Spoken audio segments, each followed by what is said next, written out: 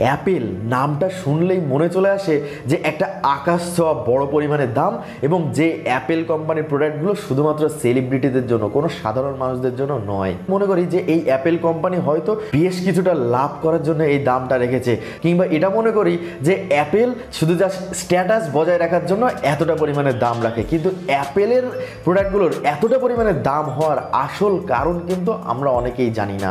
যেমন অ্যাপেলের যে কোনো প্রোডাক্ট আপনি ধরে নিন, Apple watch Apple TV Apple iPhone Apple MacBook বা অ্যাপেল ল্যাপটপ যে কোনো প্রোডাক্ট সব জিনিসের দাম কিন্তু আকাশ ছোঁয়া। আর শুধু আমাদের দেশেই নয় অ্যাপেলের প্রোডাক্টের দাম কিন্তু সারা দুনিয়ার যে কোনো জায়গায় এতটা পরিমাণেই বেশি। কিন্তু কেন? সেই আসল কারণটা আজকে আপনাদের জানাব, যেটা কিন্তু অনেকেই জানি না। তাই অবশ্যই ভিডিওটা শেষ পর্যন্ত দেখুন, আর আপনি যদি এই চ্যানেলে প্রথম হয়ে থাকেন, তাহলে অবশ্যই চ্যানেলটা সাবস্ক্রাইব করে দিয়ে রাখবেন। প্রথম যে কথাটা বলব, সেটা হচ্ছে অ্যাপেলের প্রচুর পরিমাণে ট্যাক্স পে করতে হয়। কেন ট্যাক্স পে করতে হয়? কারণ অ্যাপেল কোনো একটা প্রোডাক্ট যে কোনো একটা জায়গা থেকে তৈরি করে না। ধরুন একটা অ্যাপেলের আইফোনের কথা। সেই আইফোনের অন্যান্য যে সমস্ত যাবতীয় পার্টস সেটা তারা তৈরি করে কিন্তু বিভিন্ন দেশ থেকে। হয়তো চীন থেকে কিছু প্রোডাক্ট নিচ্ছে, হয়তো জাপান থেকে কিছু জিনিস আমদানি করছে, বা জার্মানি থেকে কিছু জিনিস আমদানি করছে। এরকম করে বিভিন্ন পার্টসপত্র বিভিন্ন দেশের বেস্ট জায়গা থেকে কালেক্ট করে নিয়ে এসে এক জায়গায় অ্যাসেম্বল করে। এবং যার ফলে প্রত্যেকটা কান্ট্রি থেকে নিয়ে আসার জন্য প্রত্যেকটা জায়গায় আলাদা আলাদা পরিমাণে ট্যাক্স তাদের পে করতে হয়। এবং যার ফলে টোটালি দেখা যায় একটা হিউজ ট্যাক্সের অ্যামাউন্ট তাদের পে করতে হয় প্রত্যেকটা প্রোডাক্ট তৈরি করার জন্য।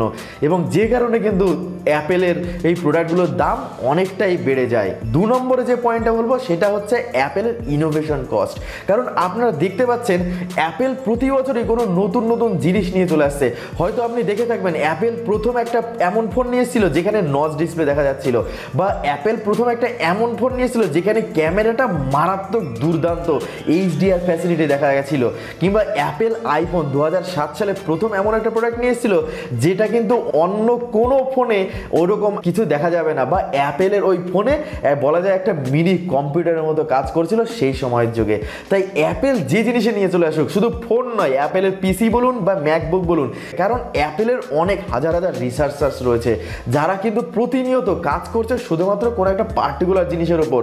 হয়তো তারা চেষ্টা করছে নতুন কিছু ইনোভেস্ট করার। আর একটা কথা মনে রাখবেন ইনোভেশন ইজ এক্সপেন্সিভ অলওয়েজ কারণ ইনোভেশন সস্তায় কিন্তু আসে না খুব সহজে। তাই ইনোভেশন কস্টটা তাদের অনেকটা বেশি হওয়ার কারণে অ্যাপেলের অন্যান্য প্রোডাক্টগুলো দামও বেড়ে যায়। হয়তো কোনো একটা অ্যাপেলের স্ট্যান্ড যেটার দাম এক হাজার ডলার রাখা হয়েছে, সেটার দাম অতটা না হলেও চলতো।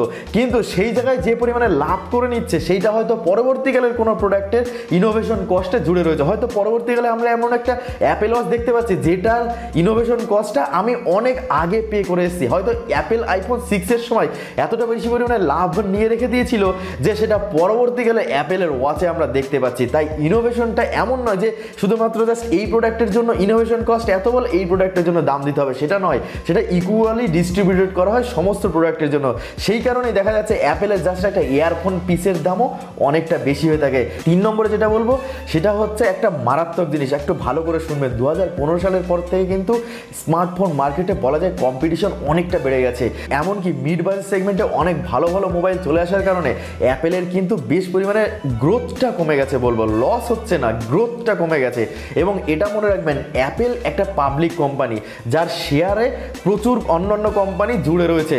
সুতরাং অ্যাপেলের যদি গ্রোথটা কমে যায়, সেই অ্যাপেল কোম্পানির কিন্তু যারা শেয়ার হোল্ডার আছে, তাদেরকে জবাবদিহি করতে হয় যে কেন শেয়ার কমে গেছে এবং তাদের কাছে কিন্তু লাভের অংশ কিন্তু সমান পরিমাণে পৌঁছে দিতে হয় শেয়ার হোল্ডার্সদের এবং যে কারণে অ্যাপেল তাদের প্রোডাক্টের কস্টটা ঠিক সেরকম পরিমাণে বাড়িয়ে দিচ্ছে, যতটা পরিমাণে গ্রোথ কমে যাচ্ছে। আর একটা জিনিস এইখানে পয়েন্টটা অ্যাড করতে হবে, বরাবর তাদের দামটা বাড়িয়ে রেখেছে। এখন যদি তাদের দামটা হঠাৎ করে কমিয়ে দেয়, তাহলে বাজারের মার্কেট ভ্যালু কিন্তু অ্যাপেলের কমে যাবে। তাহলে তাদের কাছে দুটো অপশন, হয় তাদের সেল বেশি করতে হবে, অ্যাপেল প্রোডাক্টের দাম সেম রেখে, কিংবা তাদের সেল কমে গেলেও দামটা বাড়িয়ে দিতে হবে। যে কারণে কিন্তু দেখা যাচ্ছে, অ্যাপেল তাদের ফোনগুলোর দাম কোনো মতেই কমাতে পারছে না। শুধু ফোন কেন, অ্যাপেল, পিসি, ল্যাপটপ সমস্ত ক্ষেত্রেই কিন্তু এই সেম কাজটা হয়ে যাচ্ছে। এর পরের যে পয়েন্টটা, সেটা কিন্তু বলব কাস্টম ডিউটি। কারণ একটা জিনিস আপনি লক্ষ্য করবেন যে, অন্যান্য কোম্পানি স্যামসাং বলুন হুয়াওয়ে বলুন বা সেই সমস্ত কোম্পানি ছোটোখাটো ব্র্যান্ড সব কিন্তু আপনার আশেপাশে কিন্তু দেখতে পাবেন।